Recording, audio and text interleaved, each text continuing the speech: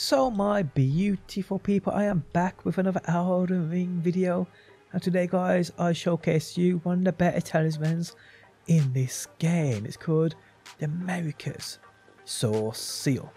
How's it going guys? My name's DPJ and if you do enjoy the video, leaving a like really helps out and if you like what you see and want to see more, be sure to subscribe.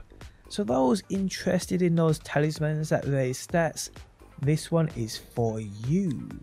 Okay, so the Marika Soreseal, I'm pretty sure this is going to stand out to a lot of people because we've got the, the low budget version now, the Scarseal, raises tributes but also increases damage, uh, damage taken.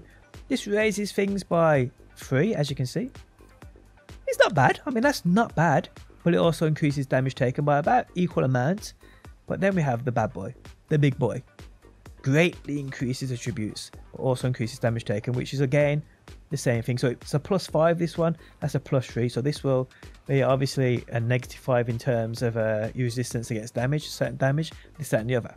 But look, guys, we have mind here, intelligence here, faith, arcane, focus points, equip load, discovery. This thing is amazing. Like I said, if raising attributes is something you are interested in, this is definitely something you want to go and grab. Okay, so to that, get this, it's well, it's relatively straightforward once you get to endgame, but you need to be far north up here, guys. So you need access to the uh, Grand Lift of Rold, which you need to beat the Omen King for. You then need to get the two sides to the Haligtree Medallion. One comes from Commander Niall, and the other one comes from a NPC hiding in a basket down here somewhere. But there's plenty of guys and them people. Uh, so you just search any of them, you'll be fine. But I guess most people now are up here. So you have now access to the hidden path to the Haligtree and you come far enough as you can to this town here. Now, you do a mini quest here, guys, which unlocks a portal which takes you up to the Haligtree area. I got a guide on this, which I'll link down below, guys. So yeah, check that out. Uh, you'll get here then, guys. And I also have another guide, which you should definitely check out, which will showcase to you if you need it every single grace point running from one to the other.